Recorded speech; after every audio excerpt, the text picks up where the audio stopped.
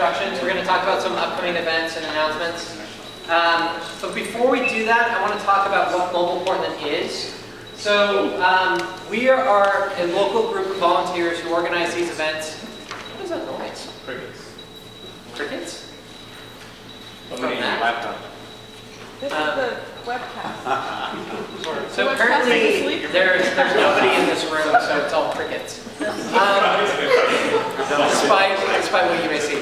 Um, so actually, before I forget, I want to actually thank Seth because he's been streaming this, he's been recording the video for these meetings um, for the last few months, and I just want to give him a hand of applause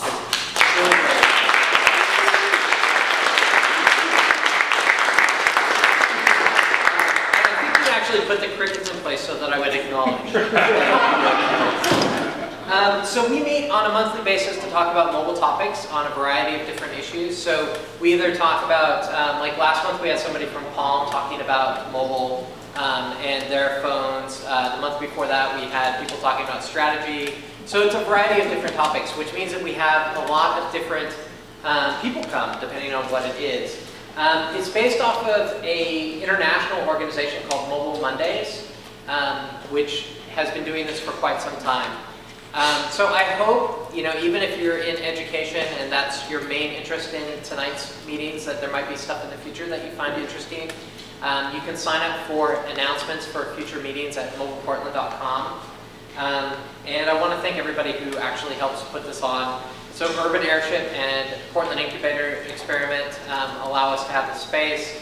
Um, my co-founders and co-workers at Cloud Four buy the food, PIE buys the beer, and then the rest of it's just sort of volunteer efforts from the steering committee.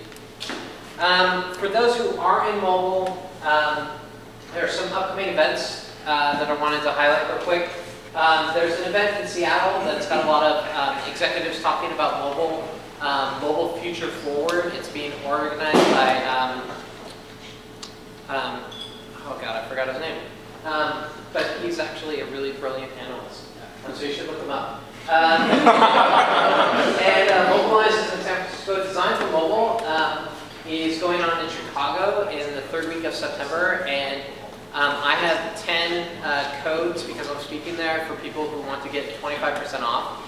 Um, and I'm assuming that Corey probably has some codes as well because he's Some goes too. you yes. So if you're interested in attending that conference, um, which is probably the only conference, it's the only conference that I know of in the United States that's focused on mobile design. Um, I, I really recommend it. Uh, organized by Barbara Ballard, who is um, really a genius when it comes to mobile development, mobile design. And then CITA or CTIA, um, ex- that actually says CTIA, not what it actually says, um, in October. Um, so something we've been doing in the past has been just asking people to either raise their hand or shout out real quickly if there are any job announcements or things that they have that are mobile specific. Is anyone is anyone hiring or those sorts of things? Yeah, it's education related crowds. I'm not sure how many. Oh yeah, okay. I'm not hiring, but I'm available for hire. My name is Callie Carroll, and I do user experience work and also accessibility, blind users and phones, and I used to work for um, Apple's iTunes engineering group for iTunes U. So I'd love to talk to anybody. You can find me online on Twitter at C usability, Okay, excellent. like the letter C. Dawn. At Intel, we're hiring people for MeeGo, so it's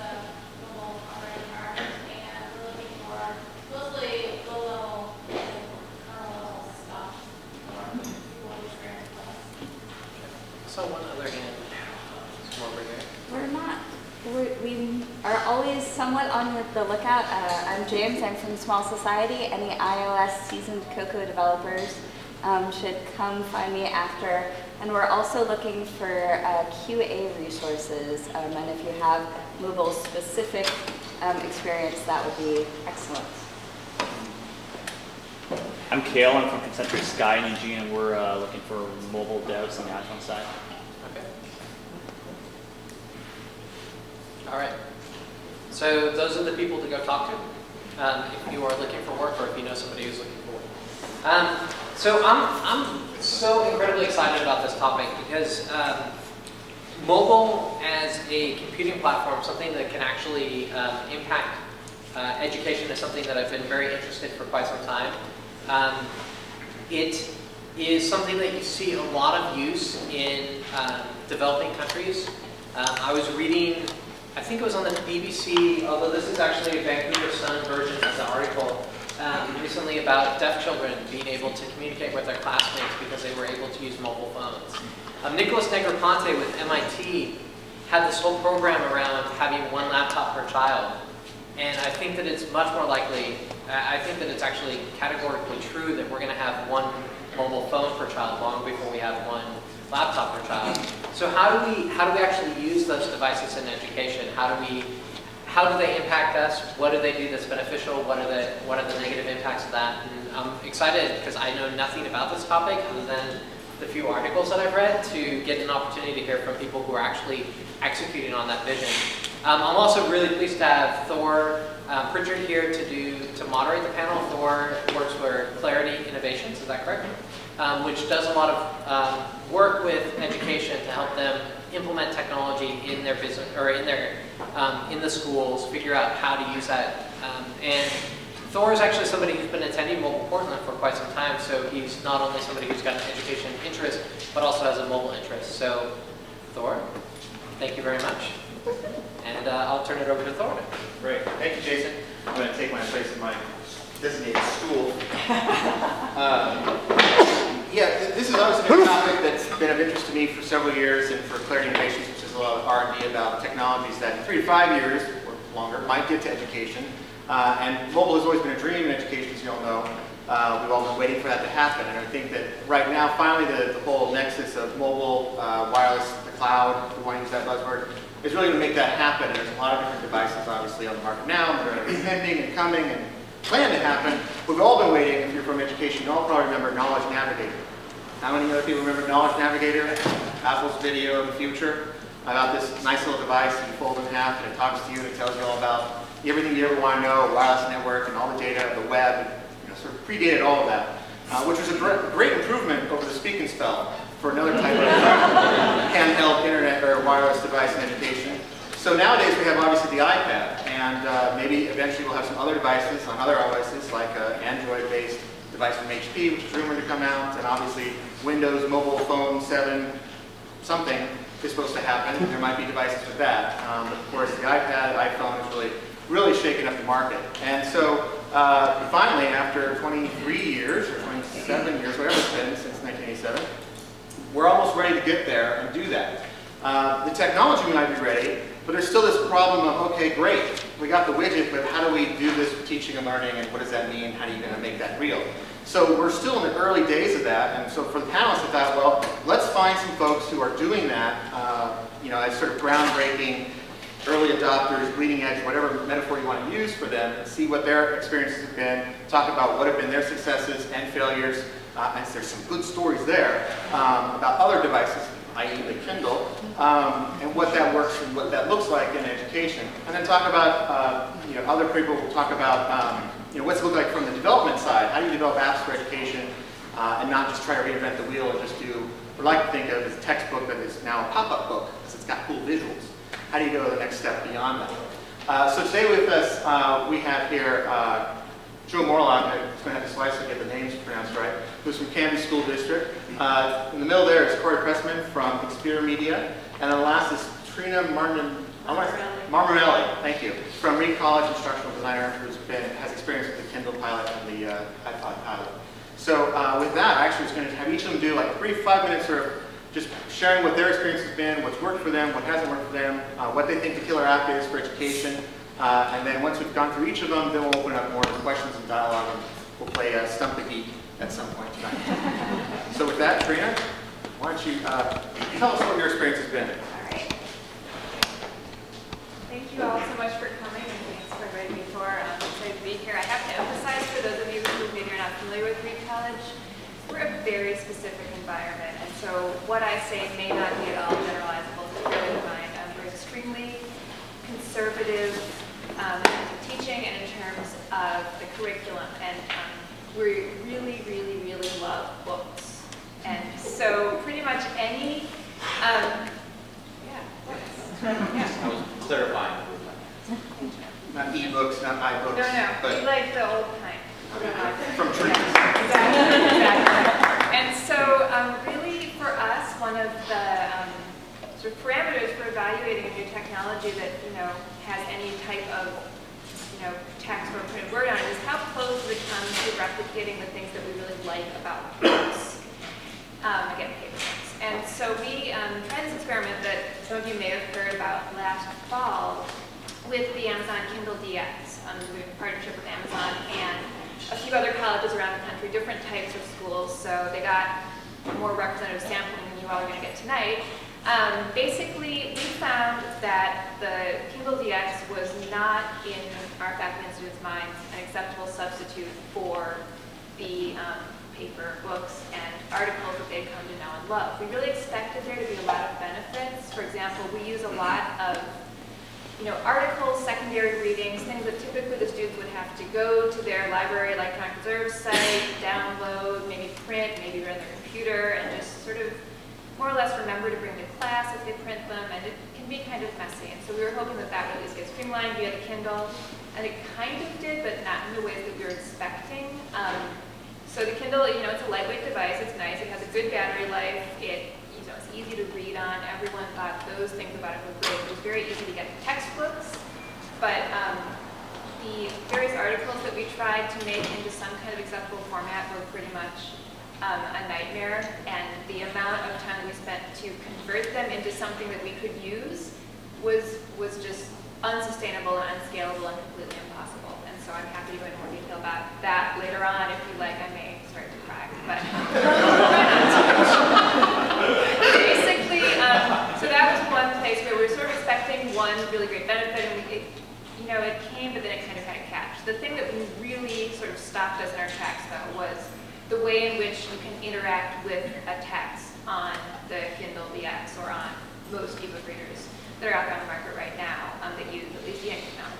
So basically, um, you know, you, promises that you can do things like highlighting and taking notes and searching, and you can do all of these things. As you, probably a lot of you have used this platform and know, you can do all of these things. But if you're a student trying to you know, read and highlight and take notes and not spend your entire evening trying to like move this little joystick around and go from one place to the next and use the little tiny keyboard to take your notes, it's a bit of a struggle. It's especially difficult, so not only for reading the text on your own, but for in class. This was really the hugest thing. So basically, students are used to, at Reed, you know, we have small classes, they're seminar style generally. People are really used to being able to jump quickly to a place in a text and have, you know, two or three texts open on their desks at once and be able to reference back and forth and have everyone quickly be able to find where, you know, everyone should be. Well, on the Kindle, you can pretty much forget about that because you have to go and um, enter this location number every time, which um, is maybe a four or five digit number in the worst case, and in any case has like, to enter it, you have to press uh, like the Alt key every time you want to enter a number. So by the time everyone has finally gotten to the place using their Kindle DX, class is over, basically. And so we found that um, the discussions in class actually started getting more superficial because people couldn't, they didn't have a shared text time, they didn't have the facility of you know, moving things around and finding places, and they really missed that. And the professors even reported, so we had a, pilot of about three classes, I should have mentioned that, with 40 students, um, three upper division seminars, and the professors also reported they felt like their students, even reading on their own, were reading more superficially because like the highlighting and annotating were so annoying that they just stopped doing it they just started reading, you know, as as they would a novel something, which of course the Kindle and other ebook readers are great at, but it's not really the kind of reading that we want the students to be doing. So basically, we found that whole experience extremely disappointing. Um, however, we're going to try again this year um, with a different device. We're doing a smaller pilot with um, just one class. One of the classes actually did the Kindle experiment last fall. We're sort of repeating with um, an iPad trial. So it's going to be a similar idea. Students are going to be reading all the materials on the iPad, you know, taking notes, highlighting.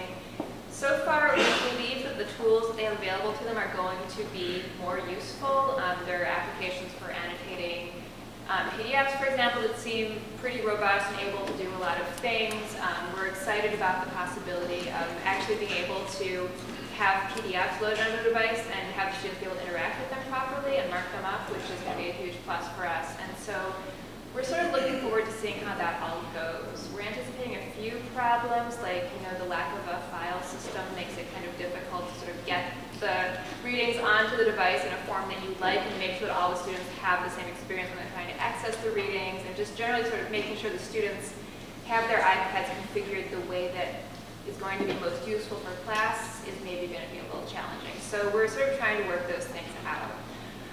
Um, and as far as sort of what we'd like to see happen, we would really like to see applications get developed in the future that make it a lot easier to interact with texts on a mobile device. Because as I say, that's really the standard for us. Anything that will make the experience more like the things that we really like about reading a book and being able to write in the margins and shuffle around a bunch of things at once is going to be really, really awesome for us and something that we look forward to. It was interesting, I was asking some students what they thought would be a really good sort of mobile application to develop for someone, and the thing that people got most excited about was actually something, kind of a location-based application that would allow students who were in the library already to um, find the student who had already checked out the reserved book.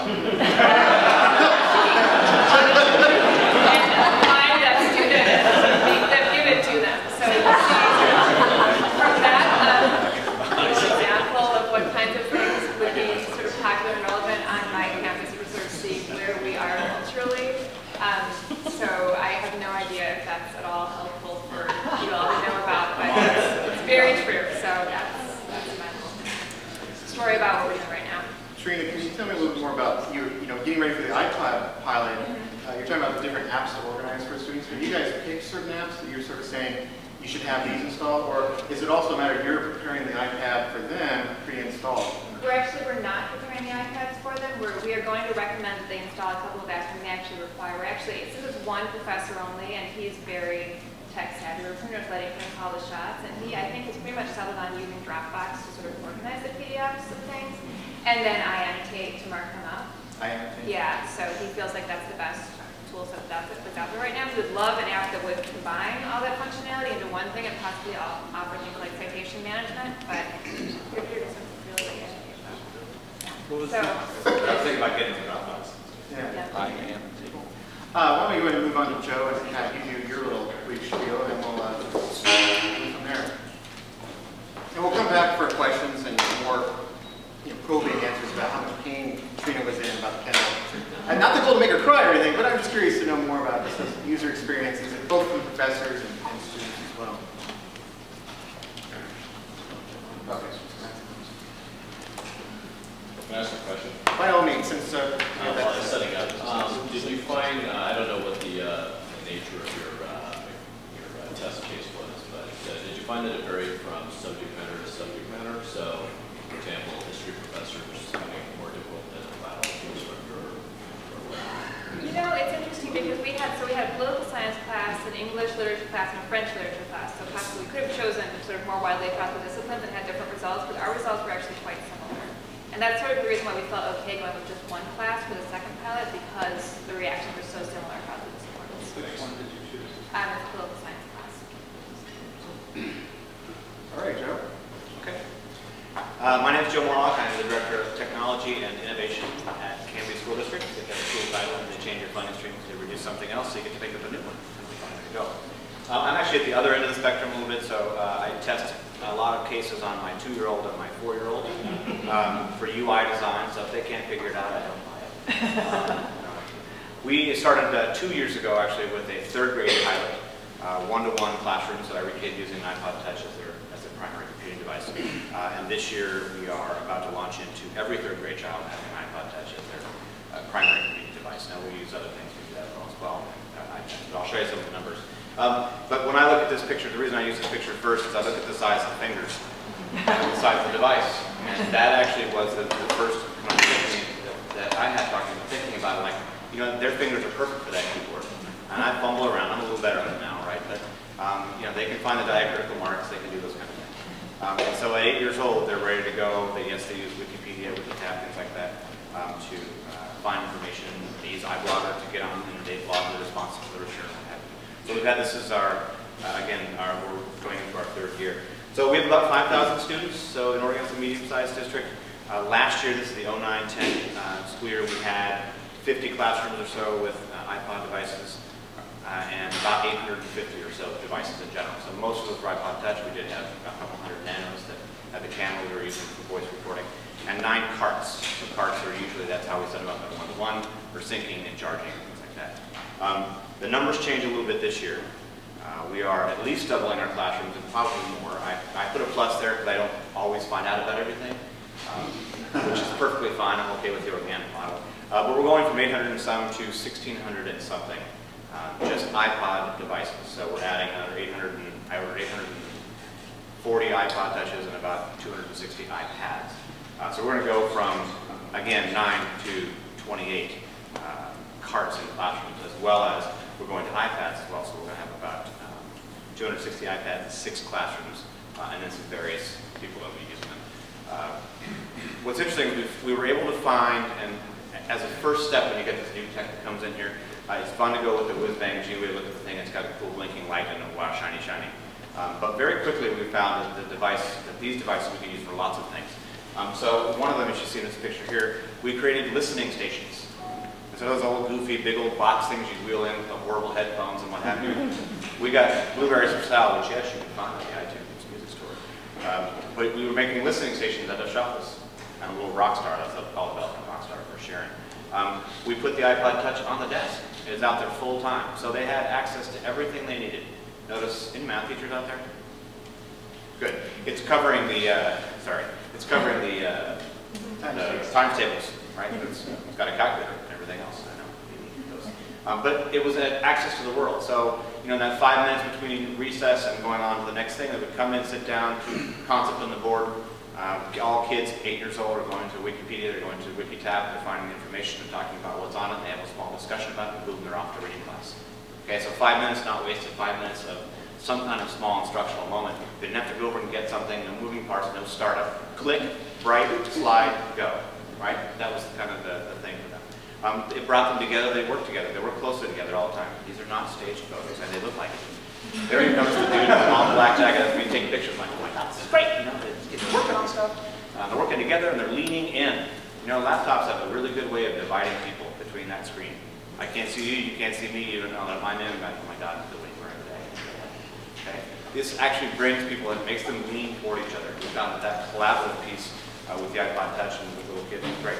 They ask us sometimes why, why we chose iPod Touch. Well, we wanted to do virtual field trip and a few other cool things. Um, we want to be able to do all this stuff. We found the iPod Touch for us has been able to replace 80, 85% of what we do on that laptop for the most of the tasks we're talking about. We don't need all that other computing power. So I'm getting five for one on the same device I was buying before. That means I get five more classrooms. Now we have 50% free and reduced lunch, and so we're always thinking about, you know, it sounds cool, like, yeah, let's have internet for this and that. Well, guess what? At least half our kids don't have high-speed wireless or high-speed internet at home. That's just, we just know this. We know at least that many kids. The kids are eating ketchup for lunch because it's not cool to be poor, or the kids who you know have families and are migrant. So we know a lot of these kids, the only time they get to touch tech and do something meaningful with it is at school. So that's, we're trying to get more and more devices out there. Um, just a couple people ask us, you know, what are you using? Well, we actually don't prescribe that. So I have teachers, and they buy their own apps, and they, they take care of all those things. But they'll have 100 to 150 apps. I know, kind of rotate them out. Sometimes they use three apps that do some similar things because they use that level. Um, like, you know, Johnny likes this, and Susie likes this, and Pedro should use this one, even though they're all doing multiplication tables. Uh, we do a lot of work with reading fluency, so that's iTalk or Dragon, you can use those. Uh, content creation, um, we, that's what we're looking for, is more and more content creation, and then getting it out of the device so you can send it home on DVD or something else that somebody else could play. So that's Sonic Pix, I think, and ReelDirector. So I'm making movies with the stuff that's on there, I'm making slideshows, I'm annotating it with my voice, um, on iPads called Puppet Pals, which nobody thinks of. but It's a great digital storytelling tool. Multiple characters, record the voice right on the device, send it home. And what we look for now is being on the projector, of course, and send it home. Um, little things like information exploration. My uh, four-year-old loves this. This is the, uh, is it called Planet or Star Walk? It's not the Star Walk, it's the other one. It's the, well, it's not the planet, but something like. Yes, star, Star thing. it's cru- cruising around, excuse me, very interesting planets, right? He's almost five, right? So the planets are cool. He's going in and out and going, oh my God, he's going to 23, 46, you know, in the future. He's seeing rotate. Um, and we're also using it in high school science class. Dictionary.com is one of our default apps we install. Why? Because a kid can look up any, any word, and it'll say to them in a native voice, right? And you think about a second grader trying to find a word in a dictionary. Let's think about this for a second. Let's look up the word bingo, for instance. Okay, so they have to alphabetize every single letter. B, A, B. Okay, good, I'm right there. And now what? B, A, B, B, B, C, B, D, B, E, B, F, B, G, B, H, B, I. Good, B, I. I'm almost there, right? Got three more to go. B, I, A, B, I, B, B, I, C, B, I, D. So at some point, a seven-year-old kid's gonna go, well, I'm I don't care what it, bingo, I'll just kind of guess. But they can do it on something like that because it reduces the words that are on the screen. B gets rid every word that's meant to be at the beginning. I, N. And so they can get to those words more quickly. And they can do it without their buddy knowing that they don't know how to spell bingo. And they can click on the little thing, it'll say bingo, oh, that's how you say it. You know, how do you say sycophancy? Oh, I'm not sure how you spell that. Right? So those kind of things. Did I say what word? That was good for you. They learned something, that's right. So everything, you know, we're doing things like course management, some notebook things, some little drawings on there. Um, we're not looking for things that use, uh, require a style out. We're not going to use it ever, get over that. We're not going to look for a hidden keyboard because it doesn't matter either. Um, it's all on the touch, on the device. And so everything we can do that way, everything that makes it easier to do touch on the device, uh, we do those. So we use a couple of those things, um, access and organization. Um, so the PDF dance, that's the big one. I personally use Papers, which is the one on the far right, because uh, as I'm working on some other studies, it actually keeps the, the resource located specific to PDFs and to who they are, and organize those things in syncs with my machine. But we use Goodreader and um, iAnnotate vast PDF, all looking for ways to, to deliver content.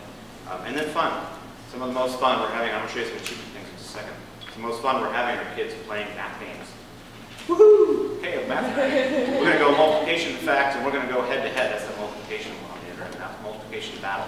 They love it. They go head to head. They choose somebody across the Wi-Fi network, and they go, go, go, go. Sometimes they go back to the math things. They're, they're practicing those things. Um, and then something like nine gaps. Um, and then uh, I always say this, touch matters. So of course my wife, um, uh, pulling rank, she gets to use the iPad because that's the new device. But the two-year-old and the four-year-old in that photo are perfectly fine managing that thing, getting in and out of the programs that they understand, that they understand, they recognize by icon, and they manage those things all the time themselves. Okay, so um, at that younger age they can do it. Let me show you just a couple quick things about achievement data. Um, on the left, you'll see iPod Touch one-to-one classroom. We started taking data. This is a third grade classroom for math. Um, so district-wide, Canby School District, that's how the scores were. We have a, a MET, uh, nearly MET, like, oh, almost there, and then um, does not meet. That's the way the state de- defines them. Um, so that was for math. That was for all students and subgroups, okay, across the board. That's just in general. So this is a third grade math score out of, actually, this is Julie Johnson's classroom. Um, looking at the next one, students with disabilities. Well, you started to read a little bit of that research about kids with autism and um, students who can't see very well. Well, guess what? The data's showing that. And we've seen this time and time again. It didn't matter what subject area or what um, uh, age group. Every single time students with disabilities came up as the one who was making huge gains. Okay. Same thing. Let's go to, I think we're now in third grade. Um, this is the migrant students, kids who don't really have a home necessarily all the time. Okay, not necessarily homeless, but they're in and out, they're fishing, farming, and forestry. Okay, again, huge gains. So let's just maybe that's a fluke. Let's go to fourth grade. Same thing. This is uh, Jackie Fitz's classroom. All students. Uh, then you're looking at reading students with disabilities. Again, huge differences. Uh, look one more time at reading for our English language learners. Let's look at that subgroup. Guess what? Huge gains. And the English language learners got better at math. So we figured out that a lot of math instruction is in English. And if you can't speak English very well, you don't very well math. Okay, so all these things kind of come together. Um, okay, math scores. Sorry, oh, you want to see that? Okay. Uh, we did Iowa Test of Basic Skills, which is a national norm test. Sixth grade math, to see average kids, these 200 kids that came in, the average, uh, they were at fifth grade and fourth month level. That's how you read Iowa Test of Basic Skills. Okay? When they came in, which means some kids came in with second grade math scores or ability and it's a little bit higher. And they left one year, one school year later at the seventh grade, third month as an average across all kids, not throwing out the high level, keeping every kid in. Okay, sixth grade math using iPod Touch every single day for that hour. Okay. Um, significant gains, just one after another. We just tested class after class. We just started to track the data and do it then. So for us, the, the, the touch is a thing that goes in the middle of the glue, and you know, Johnny's still going to eat. You know? Hopefully he doesn't get it in the home button, right? You know, but uh, other than that, it sits on the desk with everything else. You know, it's this natural device. I got scissors, I got glue, I got to do all those things that kids do, but I also got to reach the world. Uh, we put out a wiki, and I'll give you the address later if like to see that. We have all of our deployment things about how we deploy these 800 and some devices and the other 200 and some devices. That's all uh, available publicly. I'll put those links there. And you can reach me afterwards. And then, so, is that a little minutes? Sorry. Thank you, Joe. Uh, Why don't you ready to get set? Thanks. Uh, While he's doing that, Joe, real quick, can you just describe how do you manage uh, some of these 1,600 devices in the district? Uh, crowdsource. So So, it's like- a couple things. Uh, number one, uh, we have an open wireless network. at this point. Yeah. So we don't really deal with the wireless security thing. We've been open wireless for 12 years. So just to, So come on by, Canby. Come on by, drive in, free Wi-Fi. You gotta buy coffee though, right? So, um, I gotta sell sycophants. That's right. You can look that one up, aren't you? Uh, and then we, we actually have teachers manage all the technology. So we have them in these carts. We've helped them. We create what are called nested playlists within iTunes and help them manage content. Uh, and we set up some routines for them. And then the, actually the wiki was the, the main reason why. Um, you have to actually get out of of recognition. This the escape. Um, so that wiki was the primary reason for that wiki was to help teachers with tech support if they needed it. And now we have parent volunteers who are managing for us. Oh, can I come in? Sure. I, I don't want you to cut those things out. I want you to update all of our iPod touches to iOS 4. What do I do? Well, Pop says, do you want to do this now or not now? Click now. It's to the next And it works. And uh, so we're, we are crowdsourcing a lot. I'm, I am concerned that I get 1,600 of those plus the 200 and some iPads, uh, 2,000 devices reaching the same amount of laptops we have district-wide. So it's uh, pretty big. What does it look like when we ship you that many iPads? It is killer, dude. Yeah. This is good. Actually got 28 pallets out there. That's unboxing. They come in a 10 pack. It's pretty cool. They do? Smells so good. It does. Best cardboard you ever. One after another, you go, ah. I love that smell and the new. After number 112, but Right. The edge is gone. Right, with that, Corey, please. Hi. Um, so I run, my name's Corey, and I run Exprima Media, and we're a company that's been, um, that I'm very heartened to hear what these guys are talking about. We work with textbook publishers, um, a very defiled segment of our society, um, and trying to get them onto these platforms. Um, I come to this from being an educator. I taught college for 12 years. I taught anthropology. And so I kind of, can, that helps me kind of worm in with them and, and at least represent the educators with them. Um, so I want to tell you just sort of about the adventure I've been having um, with these people. Um, these people, my clients. my children. Keep me flying to Dubuque for meetings. Um, but this is, you should never start a presentation with something confusing, so here it is. CB 3.0 equals E squared. What that stands for is that textbook, the third version of textbooks, textbook 3.0, isn't going to be a textbook at all. It's going to be an E squared. What's that? No one's been to my web pages. yeah, go do your homework and come back. It's an educational experience. So I'm not interested in making, I don't want them to make new textbooks. I don't want to replace textbooks per se. Um, and I'm interested in what's going on at Reed. I, I don't think necessarily these platforms will ever be able to supplant books in what they do. Books really max out. Like it's an ultimate mobile device that you can mark up and do all kinds of cool stuff with, and has a memory. You can bend the page and it knows where you are. And it's a pretty neat device. You can share it. It's social. But there's so much more that can be done with that content, with textbook publisher content, that, that I'm just lumping into what I'm calling educational experiences. You know, the first textbooks, and they need this because their business model's broken, as we all know, right? I think. They're really, and they're really, they haven't been upset about that um, until recently. Interestingly, when I first started this, I was making like flash things for them.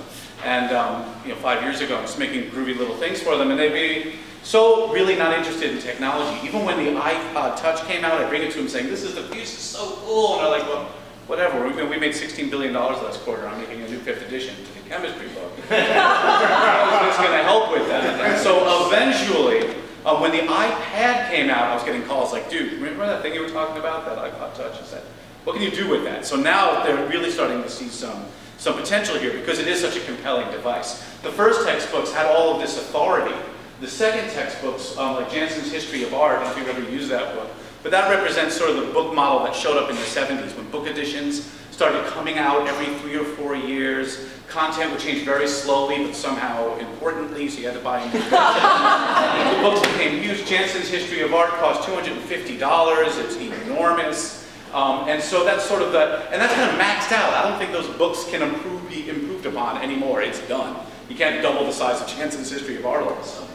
Um, so I had to use that transition, I'm sorry. in there when you get to use that. So what I've been trying to do is push them into, push them, trying to partner with in order to take their content and make educational experiences. So we have this product called Quizzer that WW Norton just signed up for 20 versions of Quizzer, one for each, each of these 20 different disciplines where I'm just trying to convince them to, well, I have convinced them, to leverage, still feels like I'm trying, but it's so flipping hard, to leverage their existing content. They have all these quizzes, they have all these flashcards, take all that stuff and make an educational experience. It reports to Facebook and they were just bugging, like, that's so cool, it's social, they feel so with it now. And so we've got them, We've got a beachhead in this space, and now we can scale out and make something really futuristic with it, and really what these platforms can do, we can get there from here now. But I used to show up and sell them the whole thing. We can have a device where you could do all this crazy stuff. They couldn't wrap their heads around. This they can wrap their heads around. So we're getting them into this space. Um, we're working with publishers, with McGraw-Hill, to make a reader that allows you to read um, overviews of chapters, to do a little annotation. Not replacing the whole book. It's for cramming on the train on the way to class. Um, it's got all the multi, they have all this multimedia lying around. So let's put it all on the phone Let's put it all on the iPad and let's contextualize it, and make it searchable, and voila. And they love it because they didn't have to do anything. All of this is, the only deliverable to me is an FTP address and an Excel spreadsheet, which is never a spell check for some reason, even though they're public. And so you take those two things and I can make these apps for them. Um, this last one's Map Quiz, which is coming out in the fall. These are coming out in the fall. Map Quiz is coming out with Wiley and Sons. It's just a map game and all they had to do was give us their base maps, and we were able to turn it into this thing. Eventually, we're going to start adding poli-sci information, sociology information, history, but I couldn't sell them on that to begin with, so it's about scaling up. But you see, none of these things replace the book, because I'm not, at least right now, I'm spooked by the concept. But, and I don't think the platform's ready. I thought the Kindle DX was ready. I was really psyched. But then I got hurt the same way they did. I tried pushing it and then started to realize I couldn't do the things on it I wanted to. So at least these platforms are really good at doing other things, at being experiential. So in, in this, uh, we call it a battle, this fight, this learning experience I've had um, with the publishers, they're very interested in things being course critical. And really, I'd say I'm about to start a list of three things that I think this mobile technology needs in order to succeed in the higher ed space. And the first one is access. If something isn't accessible enough, it can't be course critical. And there's nothing more accessible than a book for college students because they have book money, even though they're really expensive, they have book money, and there's a book store, right? And there's a book culture. They know how to use the books, the teachers know how to use the books, etc. So if we can't come up with something to replace that culture of learning, there's no app store on campus. You know, there's no vetted section of apps. Not everybody has the device, but I'm so happy these people are doing what they're doing. This is exciting. Isn't that cool? Isn't that cool? 200 some odd iPads. When they have a shipment, we should show up. Baseball bats and stuff. How you doing? So, just to go right, I'm from Brooklyn, I go right to crime. So, one of the things we're making an app for is for anatomy. We're not making the app. We just finished a discovery process where we described the app for the client, what it could be, and it was really exciting for everybody. It's for this anatomy book, and it gives me a chance to put a baby in a presentation, which is a win, right? Bad the equation at the top, a baby in the middle. So this is for Essentials of Human Anatomy and Physiology, $200 book. But people keep buying it because there's a bookstore, there's a teacher saying to buy it, everyone knows how to use books, and so they can make it course critical. Look, it even comes with a, oh, I have this. What does it come with? CD. It's a free CD. $200 book, but the CD is free. Yeah. So I used to make those free CDs. Things I'm making them. That's not good. So they, have a learning management system that goes with this, and they can call it course critical. So they're always bugging when I talk to them, where's the course criticality? So it's able, I, I can't say this, I can't make you an iPad app that's course critical. Not everybody's reading, not everyone's giving this stuff out. There are a few schools that are, not all can be, you know, not all kindergartners can be. We can't get our free technology, right? I wish was. Um, kindergartner in general would be groovy. So, speaking of groovy, what I got these suits to do was to write this down in their notes. Now we talk about, instead of course critical, I've actually made up a phrase from McGraw-Hill, course groovy. There's nothing more fun than having the head of Prentice Hall, uh, McGraw-Hill Higher Education, writing course groovy in his notes. But that means rather than being course critical, it's just, well, it's, what? Groovy.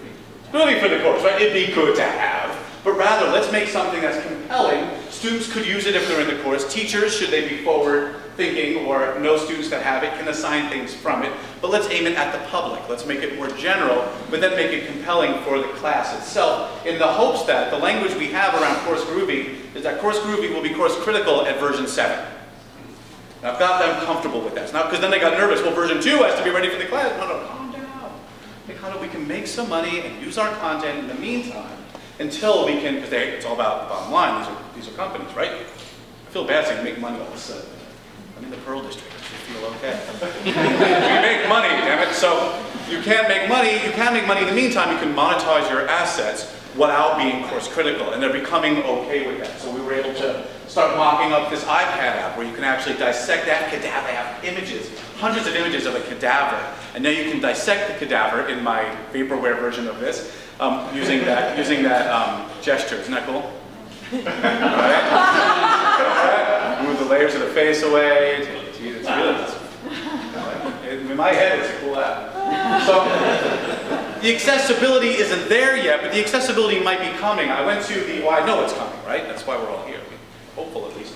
Um, I went to this conference called the Untethered Conference in New York. It's the history of publishing, um, is what it was about. And um, what's her name? Rebecca was there from I can't remember the rest of her name. I don't know her well enough just to know her on a first name basis, but I forgot her name. Sarah, Sarah Rotman Epps. Know her? Nope. Smarty Pants, is. She works for Forrester Research, and she was she did this study where she's showing where tablets are going to be. And I think tablets are the most compelling of all of these things, especially for what you were talking about in Canby, where it's moving forward, not moving back. It allows people to come together. She's saying in 2012, tablets will outnumber e-readers. And in 2014, tablets will outnumber netbooks.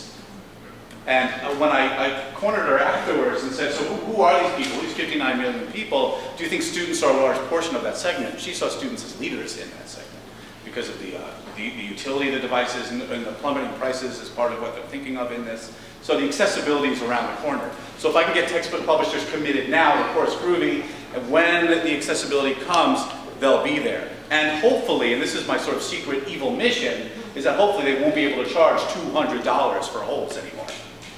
Right? Because no one's going to pay 200 bucks for an app, right? Maybe? I don't know. I'm sorry, guys. Maybe you want them to. so, but I doubt. So I'm trying to change the culture. Um, content is the other thing. So what was the first thing? It was access. Content is so, of course, important. That's why I'm working with the textbook publishers. If I didn't need the content, I just do it on my own. But they've got all the content. They've got the biggest pile of pedagogical assets ever assembled. It's enormous. They have amazing stuff. But I don't think we should throw all that out. We need curated content. We need vetted content. We need to know it's good. That's what McGraw, that's what publishers do for you, right? They do some curating for you. Just like any, any retailer really curates, except for Amazon, doesn't you know, curate anything, but they curate what they have and they pass that on to you. It's vetted. And it needs to be professional. And I, I don't think it's time to just throw out having professional textbook writers and have every teacher everywhere write down what they know and share it with everyone for free. Um, and that's being discussed. There was an article about that in the Times two weeks ago. Let's have, they're calling it open source textbooks, but that's not really what it is. It's more like wiki textbooks. But I don't think that does education a service. There are professionals who can write amazing professional stuff and they should get paid for what they're doing. And there are teachers who don't have time to go flipping through endless uncurated stuff to find things that work. I think the textbook model of having professionals write things that's curated and vetted and you can consume those things is fine. I just think textbook publishers have been making a little too much money at it. This isn't being streamed live. Yeah. Yes. Very well. I'm also looking for work. so, the content should be, um, what was I talking about? What was the last thing about content? All right, professional and, and right, blah, blah, blah. It should also be pedagogically designed really well. This is after being a teacher for as long as I was. I actually have a tattoo of this on my brain. Bloom's taxonomy and all the things about this learning philosophy stuff students should be able to describe and explain after absorbing stuff. But when you go ahead and make educational apps, this has to be kept in mind. They need to be pedagogically sound. Not only that, but pedagogically engineered. And this is where books aren't as fantastic as apps can be. Books are really good at being books, but they're not necessarily good at leading educational experiences that are uh, readily accessible, accessible in the moment, intelligently accessible, where you could read a chapter, the book asks you, well, what do you think happened? And you answer, it says, well, did you think that maybe blah, blah, blah. Books don't do that, but what does? Computers do, right? And the computer you're holding does, so it can do really interesting things. So this is what I mean by educational experiences. The content needs to be pedagogically engineered. And textbook publishers are capable of that. They have experts for that um, in, their, in, in, in, their grasp, as it were. Um, and then, of course, the last thing is interaction design. The interaction design of these things needs to also be very, um, what I'm looking for, good. Needs to be very good. I had some fantastic sycophantic way of saying it. Come up with it. Um, it has to be precise. Oh, it has to be good interaction design. You can't just, again, that needs to be curated, embedded, and done well. These things need to be made in such a way that they're compelling for the users to make. If your users are second graders, then you need apps that are made compellingly for second graders to use. If it's for, for um, higher education, you got to design the apps for that. And all that focus on the student is really going to benefit the student in. It's really, students are going to win, and then so are teachers. The whole pedagogical enterprise can win if we can get textbook publishers into this game. Um, and it kind of, one of the things on the list um, was, where do you see the place of these technologies in the classroom? When I got to thinking about it, I had trouble because it's so early. I could see like our, um, our anatomy app. Would it be cool if every student in the classroom had it? The school doesn't have a cadaver, so they could be doing that together. They could be um, doing that gesture and pulling apart the cadaver together, and then they could pause and write on it together. So maybe things like that. But I don't see ultimately that as being the most important aspect of mobile technology here. It's more like, I don't know, it's like a paradigm shift in that before there's the students in the classroom, and now with mobile devices, there's the students in the world and the classroom's in their hand. Like that's the drawing from the whiteboard today.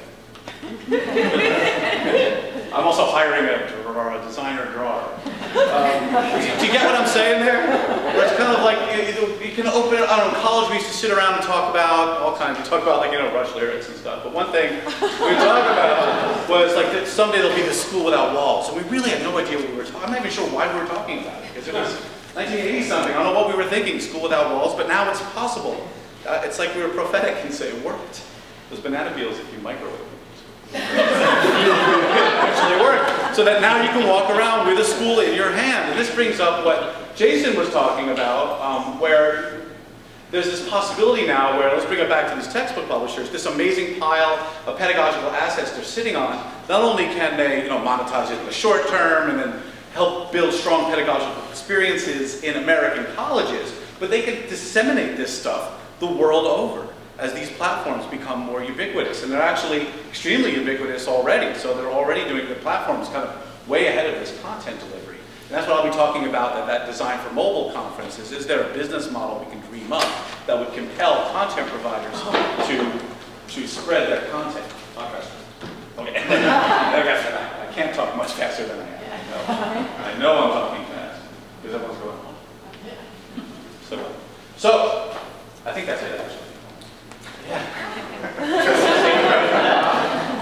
voila. So that's, I guess that's what I'm trying to say, that the textbook publishers have been very resistant for business logic reasons, and for the same business logic reasons, they're now um, much more open to the idea, and I think the path to success with mobile technology and these giant content providers isn't book replacement, but creating educational experiences that are designed specifically for students, designed for pedagogy, and allow for a form of education for the student that's never been seen before, and a form of education societally that's never been seen before.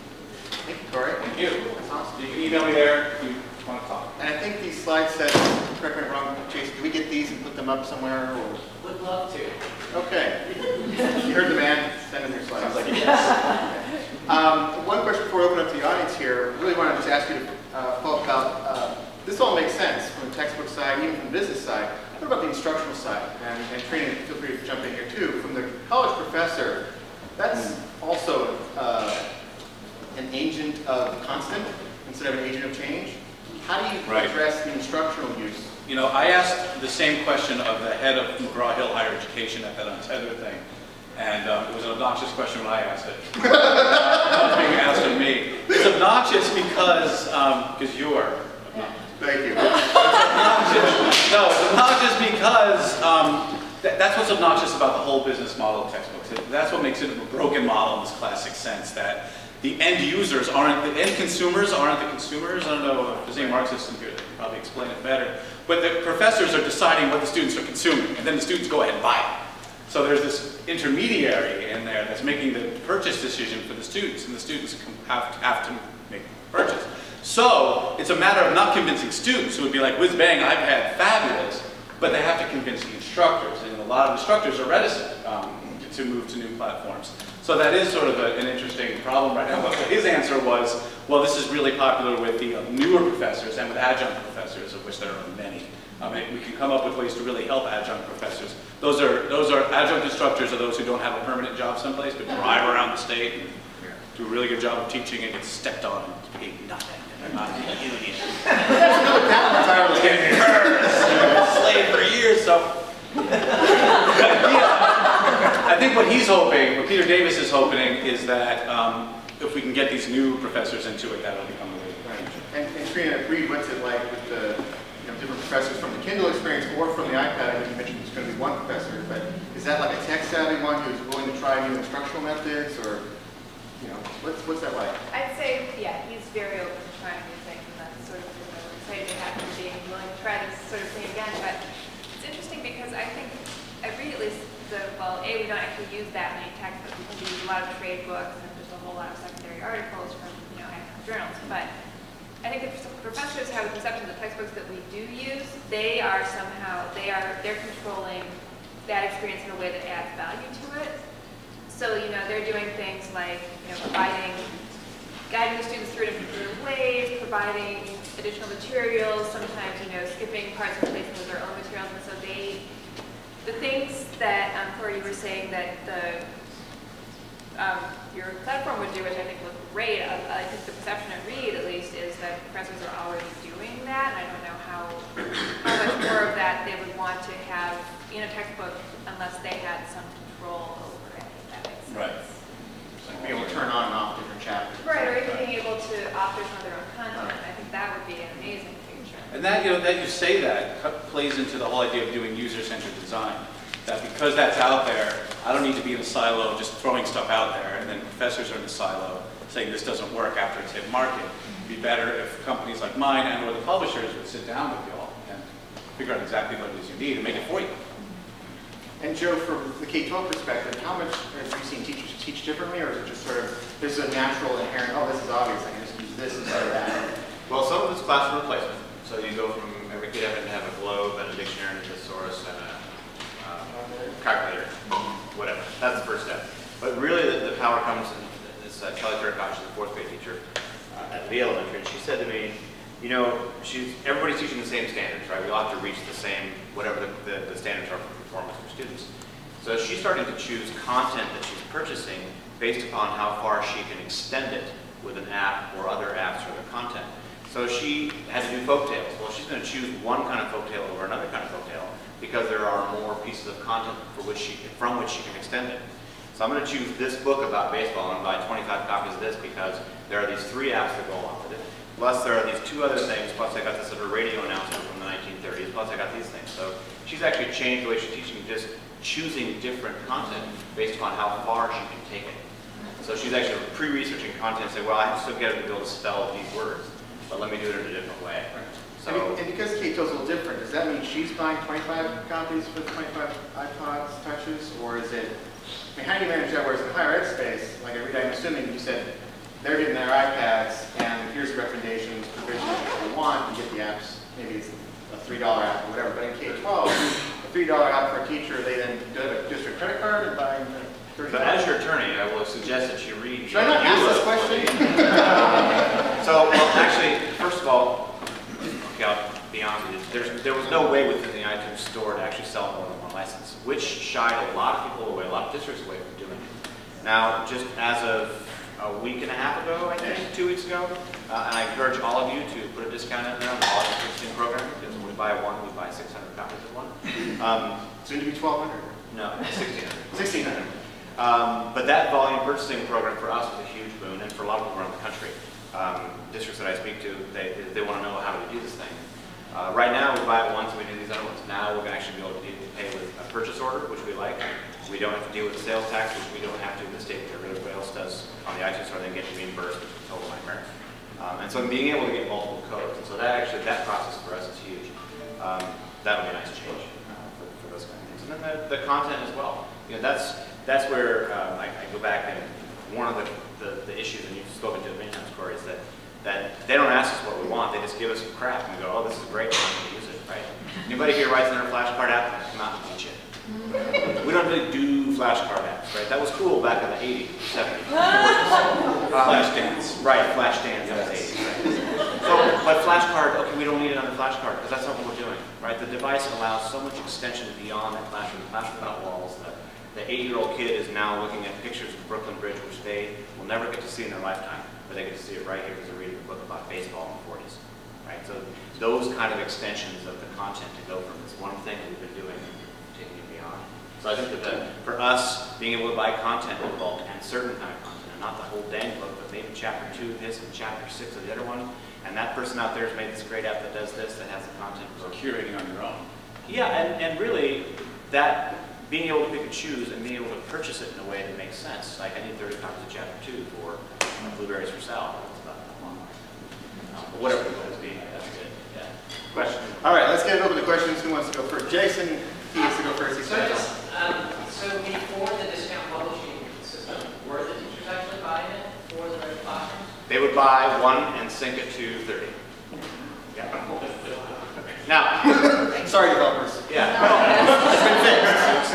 Let- and I'm just telling you, that's the way it was, and that's the only, because there was no method within, I'll tell you what, I think that we surprised the heck out of Apple as an education community. Oh, by the way, we're gonna take this little device that's the funnest iPod ever, and we're about to transition that into the coolest computing device for 800 uh, third grade children. So I don't, they didn't have a method for that. They had this, you buy, um, you have your device, you put on your stuff, you take it with you, you go do your thing. They weren't planning on a deployment of 800 or 1,000 or 1,600. Um, I was on the phone this morning with um, an unnamed Air Force base, shall we say, from the U.S. military, asking me deployment questions about iPad deployment. And they have very specific needs. They're not the only ones that want to get secure PDF transfer via a wire and having they can do flight plans flight manuals and things like that. That's what they're working on, right? But nobody's asking what they want. They just find out, well, in Store, I got this thing called ForeFlight. That's sort of cool, but it doesn't really do this other thing. So we're very excited about the volume purchasing program because we knew that wasn't quite right. And it doesn't feel right to not pay developers for the work they've done. And that's the same thing with content people. It's, you know, people put a lot of effort into writing and stuff. And so for me to get one copy and distribute it 30 wide is not fair. So we're actually excited because we're not going to feel so guilty anymore. And other districts are now, um, I didn't have much guilt personally, but just kidding. Um, but districts across the country, and I'm not talking about one or two or three districts, we're talking about thousands of schools across the country, because of that volume purchasing program, are now going to jump in because they basically said, we're not going to do this because we can't do it the right way, or our lawyers say that we do this kind of device. There are a lot of ways around it. We tried to do as much as we could for purchasing, but it wouldn't even allow developers to give us other licenses to buy them around the back door and say, hey, can just pay you for 200 of them? No, you can't do that. So we're very actually pleased about that. Uh, Jason, one quick question for you. How long do you want me to go with questions? Seven, Um, twenty? it's seven forty, Okay. So, We'll pull the you know, audience. like 15, 20 minutes. All right, cool. All right. Who wants to ask another question? That was the first guy up. Okay, so uh, if your district is buying apps, uh, you said uh, teachers have like 100 and 150 apps. Blows me away. Uh, What are you going to pay for an app? Uh, it depends on the app. So we pay $189 for Proloquo2Go, Okay. which is a, a thing that replaces the Dynavox system. Dynavox allows kids who can't speak or have never spoken in their lives to connect with people because if you can choose the words and they can say, hello, I'm having a great day today. It's a little heartwarming to watch. Um, so that's 200 bucks. The Dynavox system is 5,000, so I buy a $100, $400, $500 iPad or $200 iPod Touch and $200 of that. Yahtzee, I can buy six or eight or 10 of. So But that's a special need. Sure. And then most of the time we go, the sweet spot depends on the app. So free is nice, right? But um, 99 cents is almost an immediate purchase, right? Because it's like, well, if I don't really like it, if it was, it cost me now 30 bucks instead of whatever, a million dollars. Um, it depends on the app though, really. So 299, 399, 499, it really depends upon what it's going to do. If it's only going to do one thing, yeah, okay, it's fine. It's a multiplication app. I'm probably going to go free or 99 cents, right? It's super free. But uh, it really depends upon, you know, like uh, the Apple uh, pages of numbers. Those are 10 bucks. Those make us pause. Go, 999? Not sure. If it were 499, no problem. Right? Because of the power of that, because of what it does. So there is a sliding scale, and, and teachers, like I said, we don't manage that, so they make their own choices on So there's, there's no district vetting process or? You No, it actually, folks, uh, it's worked out better not to. So we have, a- there's a site that are, there have some vetted apps for teachers, but it's actually better to have, to let them choose their own, because they don't feel like the district is controlling them. They're actually choosing what they think is best for their grade level. Yeah, go ahead, Rick. Sure, great Is job. there a uh, database or kickback from what they've learned? You know, so you're not, the, the teachers are, have a personal learning curve, or it's that coming back to the other teachers learn? Yeah, we're actually, so we're submitting now our apps to one and uh, Southern California School District. They've set up, a, and it's on our wiki site, so if you go to our wiki site, you'll see it under links. They've set up a, a Google spreadsheet that's sortable by, I want math, fourth grade, and 99 cents or less. There's a great blog on Prompt Hacker where people are creating a lot of ideas. There's a site that someone at Vassar started recently for the iPad and higher education where people are sharing ideas about what apps are good, what features they'd like to see from them. So yeah, so it's starting to come out. Cool. Yeah, go ahead. Yeah, so I, um, one big concern, I'm a developer, one big concern, and a certified teacher, English teacher. Um, one big concern I have is, uh, what we've heard about happening in Korea. You know, Korea is the most unwired society in the world, and we're seeing, there's research coming out about how people there are, interactions, interpersonal interactions are dropping. Like the quality of like, people's emotional intelligence, the quality of their life is dropping because they're learning how to communicate text. And so I'm wondering if you, if, if, if you guys have any thoughts about how the technology here can actually be used to facilitate better communication, better social interactions. I love the example that you had about the, uh, about the app for students who haven't been able to speak, but I'm wondering if you, if you guys have seen other examples of that or have other ideas about how we use this as a way to facilitate better uh, interpersonal relationships. So in third grade, every kid has cooties, right? You got cooties, you got cooties, you got cooties, you got cooties. And what we're seeing in these little classrooms and even younger, older kids is that they'll tech support each other. And so you'll have a special ed kid working with and helping with an ELL kid, and an English language learner kid, or the other way around. And so eh, across gender, across the normal lines, across the kid who might, they'll help each other. So there's this kind of crazy, and it's, I hate to use the word, it's kind of a word. It's magical in some ways to watch some of this stuff happen, because there are things you don't expect. And every time I, I go over to this elementary school, I walk and I go, God, look at that, that's the coolest thing ever, they're sitting on the floor. She wants to get rid of all the furniture now, because they're just doing all over again. You can go to the extreme, but fish tank, that's good, yeah, they are kind of a fish tank two or three. So a lot of, there's a lot, in some ways, a lot more social interaction. Plus they're blogging on, we have an internal blog server that they use for uh, their responses to what they're reading, and then they can read each other's and comment on them, and then of course they're in the same classroom. So we've talked about it, I've written some stuff up there, hey, thanks for the props, that was great. Um, and it happens at kind of all the levels. So watching, they actually interact more, and I think seriously that that division of the screen not there any longer makes a big difference. And that picture, you see them leaning in, we're seeing the kids interact in a different way and sharing more, and the teachers are interacting. Back to your comment about the teachers are the gatekeeper, they are. You know, we've got teachers who are non-technical. Gal is very retired, Deanna Calcano actually, uh, been in education 34 years, and she goes, best, best fun I've had teaching in 25 years. I was ready to quit, and you're never going to get rid of me, and you can have the iPod back, and you cry for my cold, dead hands. and I think she was serious, because she's pretty cantankerous. It's live streaming. I, I get it. Deanna, we love you. Um, keep the up. That's right. No, she, she has a whole classroom set. So she's seeing social things. These teachers are meeting together in different ways that haven't been done before. You can't buy that kind of. So there's a there are multiple social facets to that. And in the back there? Hi, uh, I'm actually, actually the same question, but pulling on the edges of two different dimensions or two different um, axes. I'm curious about uh, what this gentleman brought up about the Koreans, if there's a cultural element there, if, if we're slanted towards sort of an American way of interacting or American way of teaching, and if there are any um, cultural implications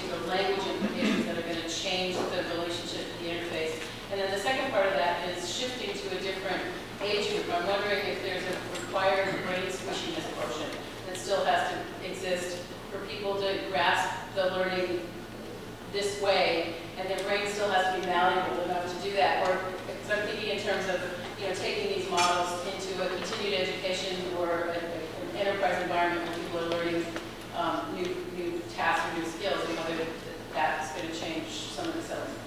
Okay, so start with the last question first. Uh, Marc Prensky wrote, wrote a few articles recently about neuroplasticity and about Can you talk a little slower and a little louder? Sorry.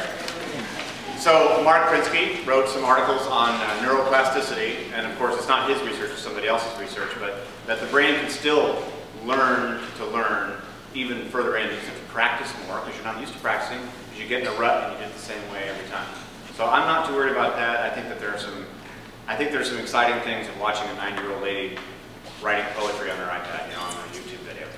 Um, I spoke, I was in China um, about eight months ago, nine months ago, and I spoke at a mobile uh, education learning uh, thing, and there was a lot of concern because of the control issues around content, right? So all these mobile devices, that that's cool, but we're not going to go there. Um, and then we talked about, you know, so if it's all electronic, what happens if uh, the school laboratories get flooded with the river? And then I asked, how many people in this room have a, have a, a mobile phone? And every, every kid and every professor raised their hands. There's your platform, right? You have to start thinking about how you deliver content across something small, portable, and that every kid, at least in this room, can afford. So, uh, yeah, I think there's a lot of cultural. We look at things that explore, we're creative, we like to play with the information, morph it, uh, and it was a different look. They said, well, how do you, if it's not linear, I don't understand how you do content on this thingy, right? So that was a, that was a big cultural moment for me. I was like, okay, that's right, I have to think about. So yes, I think there's some Americanist culture around it, but um, And and Corey, I actually want to sort of take that question for you and then work with the textbook publishers, they're a very interesting entity. Uh, How much do they are willing to let go of control terms of, yes, you might have a textbook that has 12 chapters, but really waking up the idea that people are going to want to mix and match or change the order or sequence or add their own, you know, content to Um, them? I think they, I think they'd be amenable to that, so long as we could find some revenue stream to make it work, yeah. I think they're fine with that, yeah, exactly, like swipe your card, right, your time. No, I think they're okay with that. I think the, the biggest thing they're squirrely about is premier content. So, you know, the, the, when they have this content that they're paid a lot for, like this, this anatomy uh, thing we're doing is based on a Flash um, tool they already have, and they invested a lot in that, so it's considered premier content, so you can't just throw it on an iPad and let anybody do what they want with it and start mixing it around. So I think there is some proprietary feelings about the content um, to some extent, but I think they're, they're, they're willing to play now. But you know, both those questions brought something up, um, and I have an answer to both of those, and it's I don't know. Um, it's a good, I think, it's a good scientific answer. Um, uh, just anthropologically speaking, um, I just don't, I, I think a whole new world of research is going to grow up around the spreading of these devices and how they're used. Um, and I think it needs to. It's just going to happen. I, I'm positive I could take uh, an app made for educating um, college students here and have it just work anywhere. I wouldn't. I'd be very surprised. That would be a paper in its own right. Like, wow, it's, all of anthropology is wrong. Give my degree back. But I think actually that we, we need to study these things and see how it's affecting society when everybody's um, on wireless devices and communicating that way, and how we can actually you know, educate the world using mobile platforms. Well, how do we how do we actually get across that divide? And I, I think it's I don't know, and I think we're going to have to find out. When I was at that untethered thing, um, just, a second, let me talk about me just a little bit more. I was at that untethered thing. Uh, there was a guy there from Hewlett Packard, forgot his name, but he was a fascinating talk. He was talking about how they've been doing research around the world um, of people using touch devices, and how he noticed the touch expectations of people in different cultures were different. When they were given a picture, they didn't expect to pinch it to make it smaller. they didn't expect to do this to make it bigger. They had like turning uh, things in mind. So he was talking about maybe there being these sort of nascent touch dialects out there that exist that need to be studied. That's, that's really cool. That's out there. Right? Out there. Yeah, Right, it's that's touch right. dialects. Touche.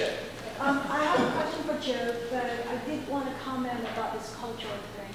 Um, there's a book called iBrain saying that brain scans of our younger generation look different because their social skills are less. It's for PCs.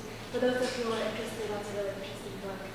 Um, Joe, the statistics and the pie charts you showed are just astonishing. I mean, if that, I mean, they seem to suggest that we could achieve um, no child left behind. To what extent can this be replicated across the country? Because if it can be, this would be the biggest story of the century. Well, first of all, um, no device will make a bad teacher any better. So some of these teachers, of course, are some better ones. But what has happened, and this is, we're going to go into the big deployment this year, where not everybody's totally on board. Um, but what's happened in the classrooms here are two pieces of engagement. Number one, the student engagement. You know, when you go to school and power down, school sucks, right? Because I can do all this other stuff for my other 18 hours. I go in and spend six hours in hell school, and then I leave, and I go back into my world. And so I think that some of that reaching and trying to bridge those two things has created a large student engagement. Um, one of the survey I've got, the data is actually on the wiki, and there's a lot more data slides. I cut down. because George told us we had to cut them down. So, um, but one of the slides that, that one of the teachers has taken data from her students, and the interesting one, so it shows, you know, I read for longer, yes, or I do this other stuff, sort of. But the one slide that really stuck out at 85, 90% of her class said, uh, listening to myself read, practicing reading, and listening to myself, my own voice reading, makes me want to be a better reader. So now they've created a desire to get better because they can hear themselves and the mistakes they make and practice. So there's a student engagement. The other part of that, the other sauce part, is the teacher engagement.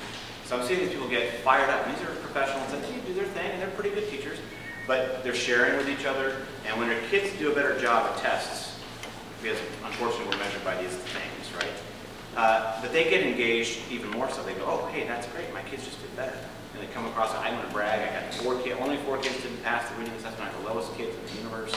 This is great. Um, so I think those two things are like that. Um, sometimes people ask, and I've been contacted about, they want to do, you know, iPods for every kid today.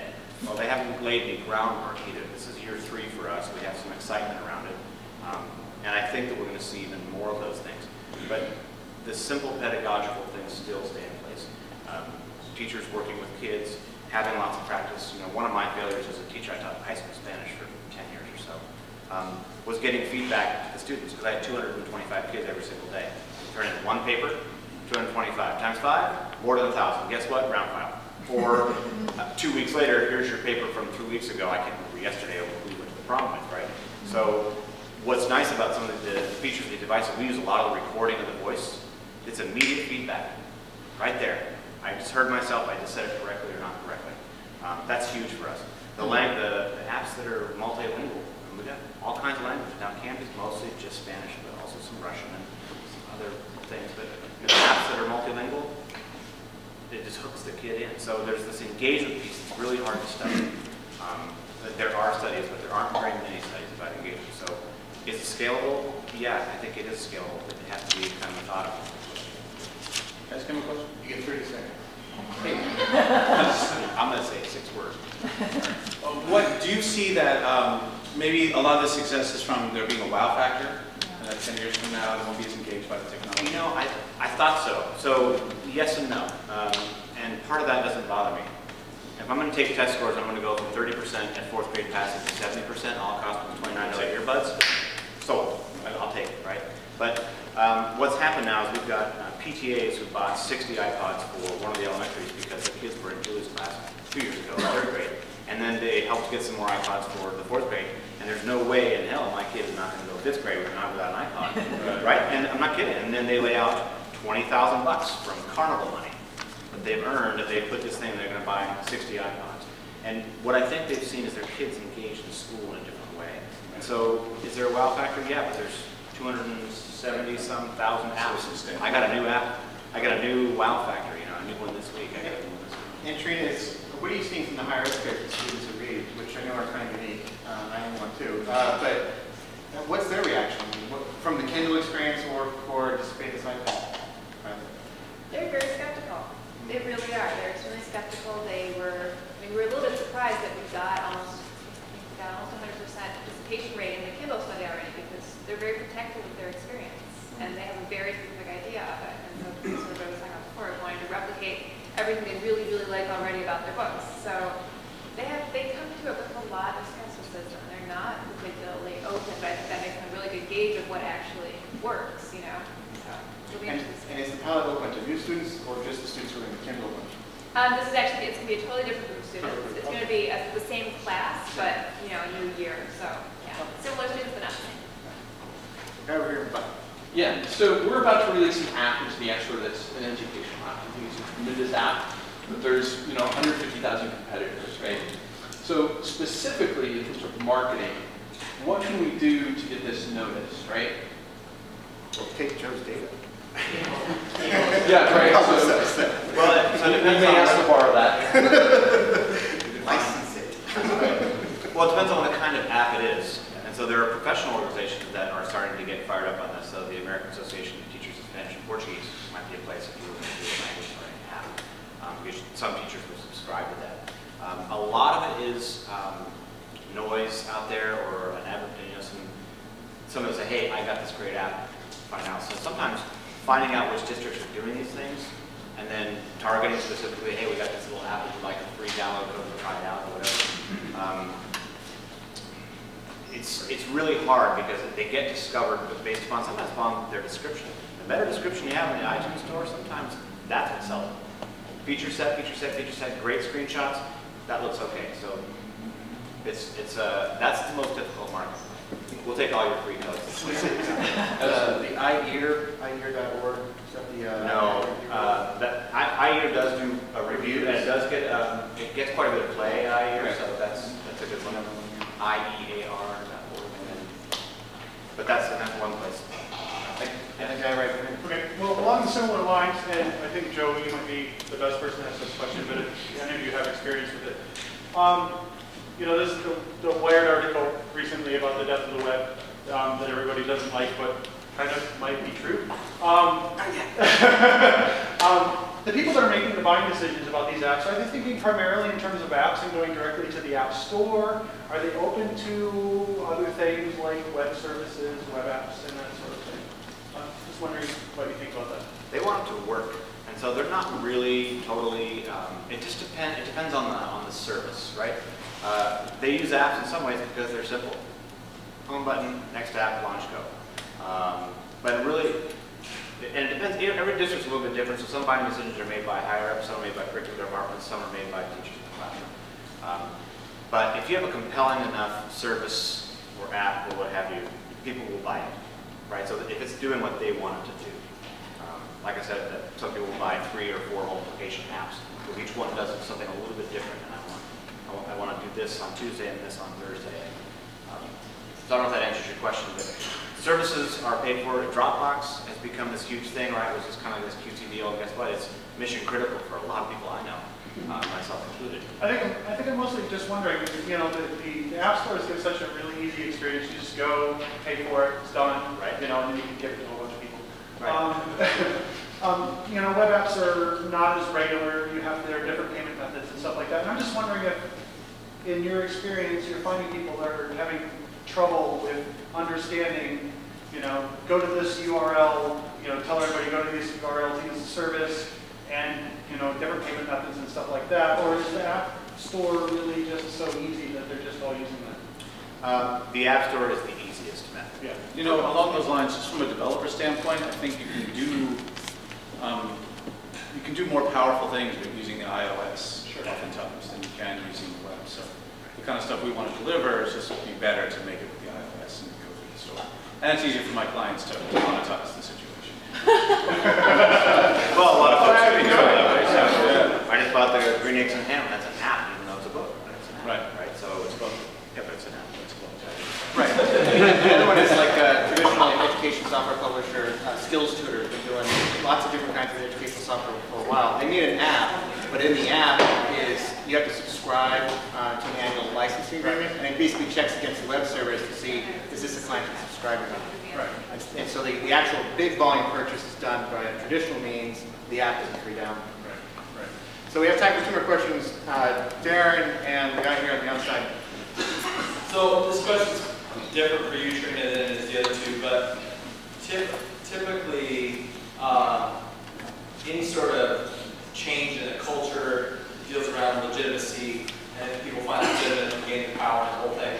I'm curious about you, what didn't legitimize the change at Reed, and then Joe, how did you get to your superintendent or school board and say, this is a shift we need to make, because a lot of school districts aren't willing to do that, and open up the access.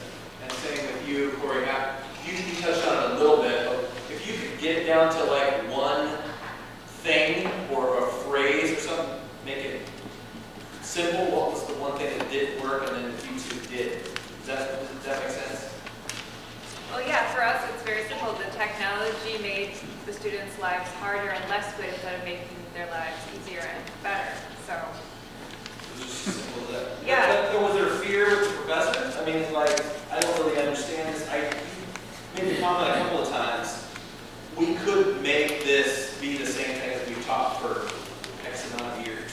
You know what I mean? We could, I mean, there's a certain amount of skepticism toward the whole process, but I think these, these are people who very well understood sort of what they were getting into and were willing to make a number of concessions and made a whole lot of concessions throughout the semester and still were disappointed and said, look, this isn't good enough. The students aren't learning as well as they do otherwise, and that just wasn't acceptable.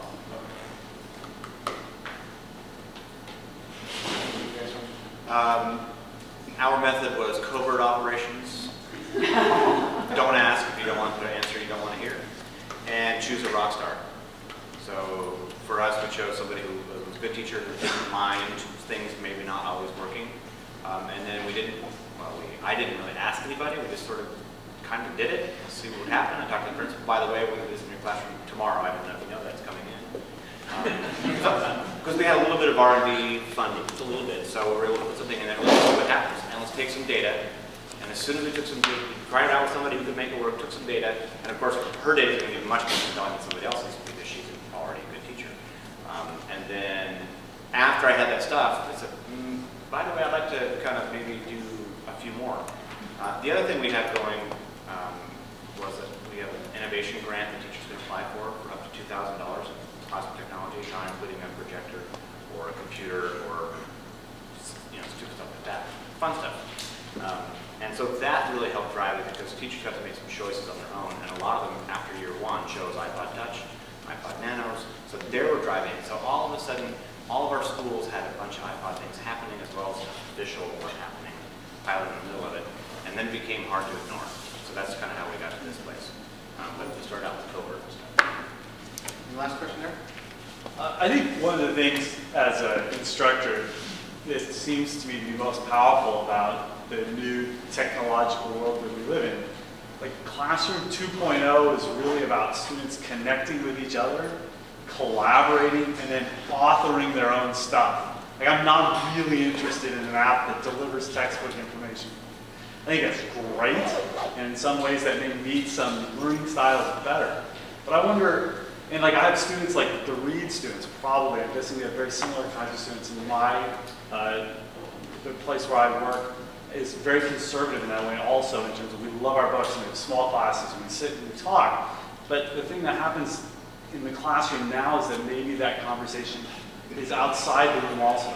So I'm curious if the three of you see somehow mobile technology helping us with that as opposed to bringing us more content in new and creative ways, which is great, but somehow also empowering students to connect with each other in new ways uh, outside of the classroom time and then create their own stuff. I know they can do that already with the web and, and they can do it in many ways, but can they do it in a, a mobile way?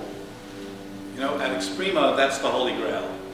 That's what we're after. That's sort of what was on the whiteboard a few years ago and started this whole thing. Some kind of, that school without walls, where actually students, the school without walls isn't about textbook publishers delivering stuff, and it's about students being able to really form these extra classroom communities.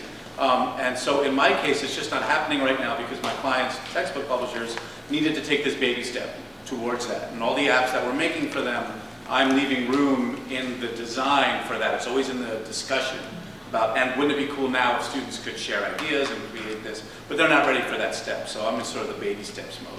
Know, that being said, I'd love to make an app or a, a, an app type environment where students could do that independently of textbook publishers. So if you have venture capital, want to give that to me, it's great. It's part of the master plan. Uh, let's, uh, before we thank the panelists, uh, I'm sure they'll stick around just a little bit more if you want to pepper them with more questions. Jason, what's the usual protocol for this? Did you go, drink more or just, you know? So, uh, Can't go so less. first, I, I want to thank Thor and um, all the panelists for coming. This has been a great session.